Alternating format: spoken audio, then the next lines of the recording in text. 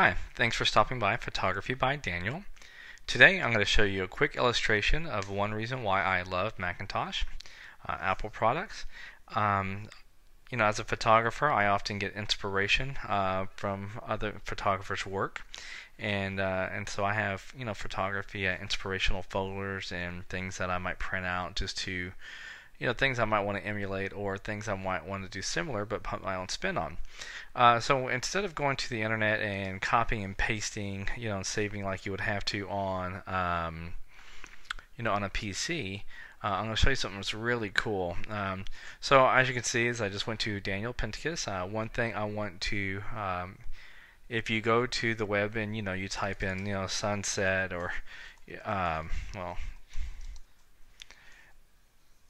you know sunset wallpaper. Well, I mean I don't own these rights, and so I'm going to be very um, you know cautious of how I use these and use them for inspiration. I will never ever uh, use someone else's work and claim it as my own. Uh, so just a little word of caution there, because uh, they do sometimes get tracked, and you want to be careful. Okay, so. um, here is a, a bride and groom uh, that are that I did a while back, and so we can just like uh, you can see that it'll take you directly to their page, and you can see how crisp that is. Uh, so the bride and groom that we did in Dallas, uh, very nice couple. Uh, but let's just say that I wanted to use something uh, like a sunset and and go from there. So let's do that really quick.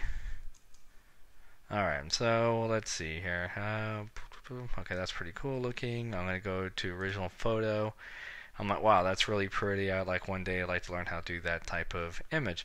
So on a computer, you would have to right click, save, go to folder, whatever. But on a Mac, I'm going to simply hold down my mouse and I'm going to drag, drop, and there it is. Um, so that is the, the image I just got off the internet.